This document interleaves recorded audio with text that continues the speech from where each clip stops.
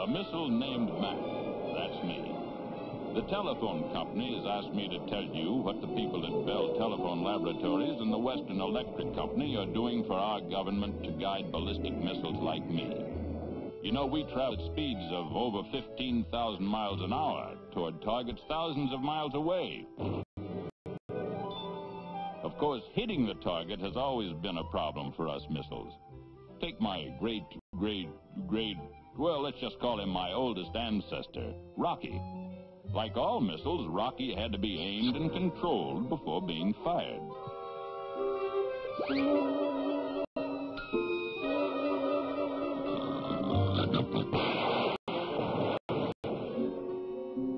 Then along came the arrow, which had a bow and string as well as a man to aim and control this miniature missile.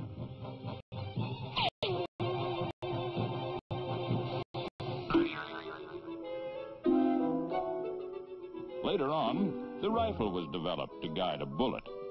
The rifle barrel aimed and controlled the bullet as long as it was in the barrel. But once the bullet left the barrel, the little lead missile was completely on its own.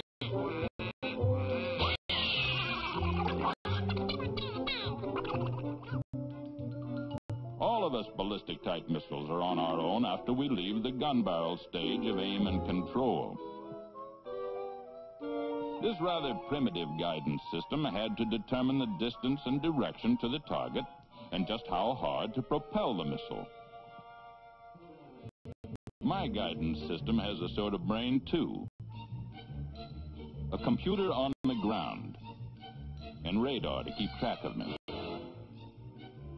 This mechanical master of mathematics has to know the exact distance to a target that may be over 6,000 miles away. And to make the job more difficult, the rotation of the Earth keeps the distant target moving. To complicate the problem further, I am traveling at a speed of 300 miles a minute, fast enough to get me from San Francisco to New York in about 10 minutes. Whether or not I hit the target is determined in about the first five minutes of flight.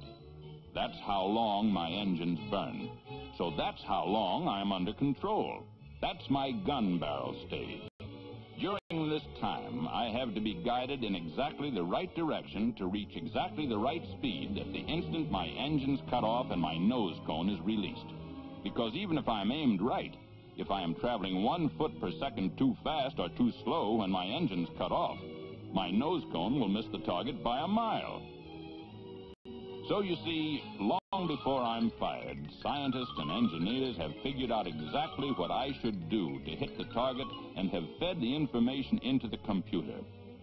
This information includes distance, effective gravity, my engine power, Earth's rotation, many things.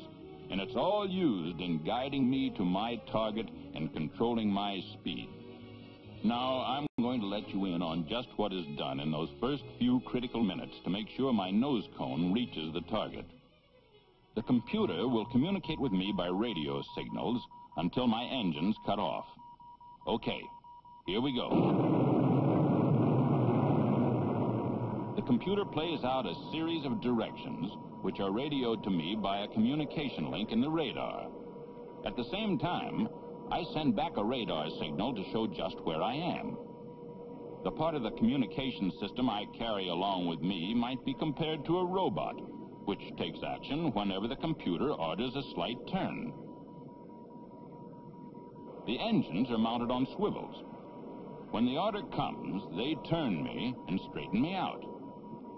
The engines act as a kind of rudder, steadying me and keeping me on the right path. But what happens if I should get a bit off course? Oh, you remember, I am sending back a steady signal showing just where I am. On the ground, my changing position is sent to the computer many times a second. Watch how the computer gets me back on course. The computer compares everything I do with everything I should be doing. As soon as it discovers the difference, it issues a correcting order. So we have continuous two-way communications many times a second. Orders from the computer are followed by the automatic pilot to keep me right on course.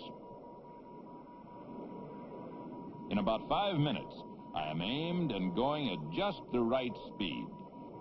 The computer tells my engines exactly when to cut off and drop away. There goes my first engine. There goes the second.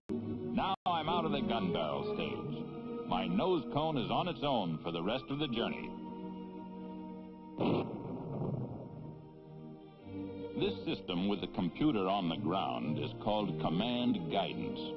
It's one of the most accurate systems ever invented. While we missiles help the armed forces keep the peace, we also serve as rockets helping the National Aeronautics and Space Administration to put satellites in orbit. Boosting a satellite is much like launching a missile. A satellite is just sent on a different mission, out where nature's laws keep it in orbit. Remember Echo 1? The first satellite used in experimental telephone communications? It was successfully inserted into orbit by the Bell Laboratories Western Electric Guidance System. So were Explorer 10 and 12, launched to measure magnetic fields and the flow of energetic particles in space. So was TIROS, which gathers and relays information about the path of hurricanes and violent storms and the Bell Systems Telstar.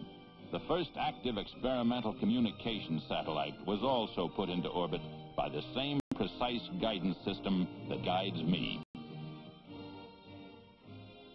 Communications can be many things.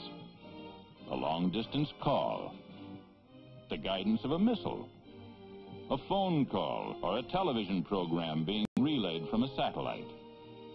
Say, there's the moon. I may even be guided up there sometime in the future. But no matter where I'm sent, it's nice to know that this precise guidance system will guide me to my destination.